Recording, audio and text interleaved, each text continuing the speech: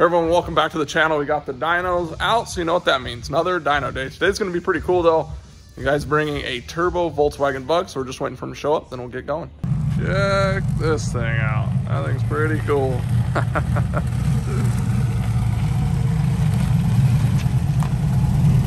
it's got a Holley sniper on it, but it's a draw through on the turbo. So we're thinking uh, he's had some drivability issues and we're thinking it's puddling up some fuel down in here, but I'm gonna get into the tune. I actually got my cable, ran across the side of the car here, laptop's inside. I downloaded the sniper software, uh, so we might have to update some things, but really cool little turbo bug. And mostly, mostly worried about drivability on this thing. We're gonna take it for a drive and then slap it on the hubs here and see what this thing will make. What do you think it makes? power wise or what do you, what's your guess like what do you the think it could make make ever did on a 1600 was 60 horsepower this is 1835 the way it is, if I see 90, really, I'd be tickled. you know, and it scoots pretty fair. You know, it yeah, it doesn't weigh anything, right? I mean, it's super yeah. light. Yeah. 1450 I think on the registration. Wow. Yeah, so. that's crazy. Super cool. So we're gonna go take this thing for a little drive and see what it does. All right guys, so I just pulled the tune out. Mostly it's been tuned off of this little dash and just kind of the base setup in the sniper. Uh, but on here you can see where it's wanting to pull 40% fuel and I'm assuming this is probably where it's bogging at kind of cruise and uh, all that stuff, drivability, and then up top it's wanting to add a bunch of fuel. So we need to get through here and, you know, try to get this thing within five, six, eight percent uh, over overall the whole map, hopefully. So we're going to uh, go ahead and look at all that. And so I'm going to go in and mess with the learn table and the target air fuel. This was actually from the sniper. Uh, this is how it looked when I first opened it up. As you guys can see, it's actually at 13.3 at idle and cruise, which is which is pretty rich. So that's not helping the situation at all. Uh, so I'll go ahead and rebuild out my target air fuel map and then we will go for a drive and then start playing with the learn table and starting to transfer everything over. Something that was kind of crazy on the tune here is now that I've fixed it, it goes from one pound of boost to 21. It literally had one to 21 in like the last four cells. So now I smoothed that all out. So now we actually have area to look at when we're in boost and then a good area for driving and part throttle. It was pretty much all vacuum, part throttle, and then boost. We only had a couple little cells up here. So uh, this is looking much better and then we'll go drive it and start transferring over some of the data.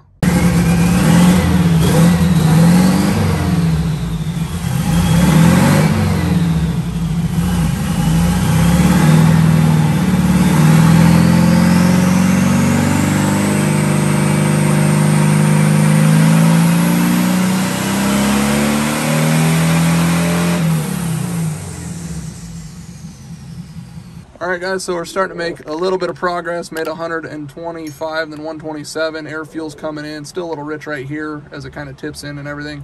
Uh, we're going to keep playing with it just a little bit more, but 5,200 RPM.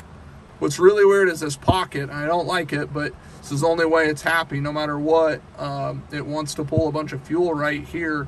And this kind of as you're driving, it comes up and it works its way this way. And then when you let out of it, it comes through this area. Well, if we put fuel here, it wants to die, like almost chokes it out. So I don't know if this is part of like the draw through deal on the uh, Holley where it, it, maybe it's puddling fuel. So this helps clean it out from puddling or whatnot. But kind of interesting, but we're starting to starting to work our way up through here.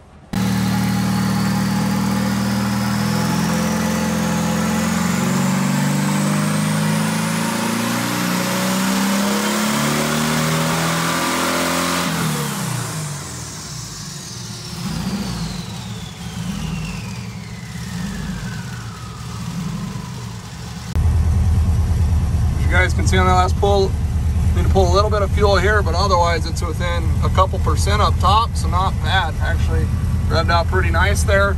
Made what, 126 right there? So we made 127, 125, 126. So I think we're, I think we're about there with this thing. Um, now we need to try to get back out on the road and drive it. So on cars like this with the sniper, you have to figure out how you're going to control your timing, either with a box, a secondary box, whatever. This has uh, like a CB black box in it, I guess what they call it. So yeah. here is the timing table, and we got, it had like 19, and I think that was part of why we were fighting some of the idle stuff. So I went ahead and put some more timing in it there, and then it goes to 22. Uh, so more or less those pulls were at 19 degrees of timing. And now that we got the little boost line everything hooked up, um, we should be good Earlier, we thought the boost line was creating an issue with vacuum. Uh, turns out that's not the problem. We don't think. Uh, it looks like the IAC's actually hanging on the sniper for some reason randomly. Um, so we're going to go ahead and make a couple more pulls with timing, see if we can adjust that, see if we can make it a little bit more power, see if it's happy, and then go from there. So we went ahead and made a pull, went from 19 to 22, really didn't make any uh, any more power, so put it back down to 20. But we did add a bunch of timing down here at idle, and it, it's a lot crisper, a lot better. Where it had 19, now it's got 26.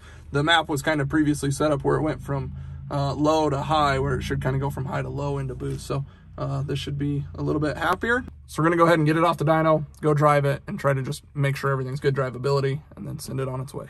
So guys, there's the final runs. Made 127, 125, 126, 125. So super consistent, added timing, pulled timing, leaned it out a little bit, added some fuel. It all made around that same power. So that's just where it wants to be. Came over here to get some food and there he goes. Um, I think it's pretty cool. So dynos are all put away. We're done for the day. Uh, the drivability on that thing is just a ton better. Just had him driving around while I just kind of verified everything from the dyno, made a few small adjustments, kind of locked down the learn uh, so it can't take off too much. But with it being a draw through, it seems like it it definitely wants some uh, ability to kind of chase itself around.